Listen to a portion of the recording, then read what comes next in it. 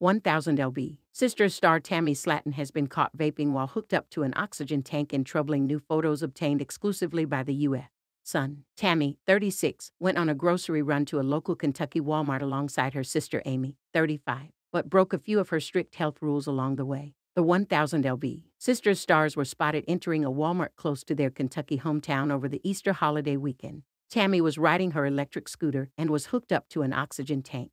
The insider shared that Tammy and Amy were inside the Walmart for nearly two hours. According to an eyewitness, the sisters emerged with carts loaded to the brim with Twinkies, chips, toys, and more. Tammy was spotted taking a drag from an electric vape as she coasted through the parking lot to her car with bags full of junk food. Party Girl. The U.S. Sun previously reported a source claimed Tammy quit smoking over her nearly 14 month stay at an Ohio weight loss rehab clinic. At the time of Tammy's release, the source shared she had abstained from drinking alcohol, smoking, and vaping for nine months. Previously on 1000 LB, Sisters, Tammy admitted she downed eight bottles of booze a week, leaving doctors fearing for her life. She also openly ate pizza, vaped, and asked friends for shots of liquor in clips from the show. In the season 3 finale, she even stopped breathing for a time after a party bender. WOAH, Tammy. The U.S. Sun previously revealed Tammy weighed just over 400 pounds at the end of her 14 month rehab stay and is nearly half her former size.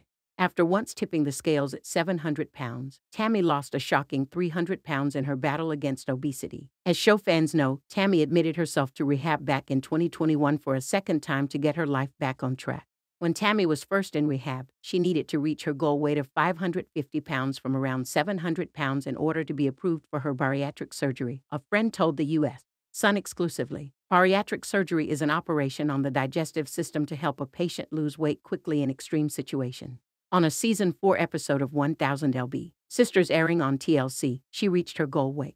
As the U.S. Sun first reported, Tammy successfully underwent the life changing procedure in the summer of 2022, and the friend claimed she has since dropped another 150 pounds since then.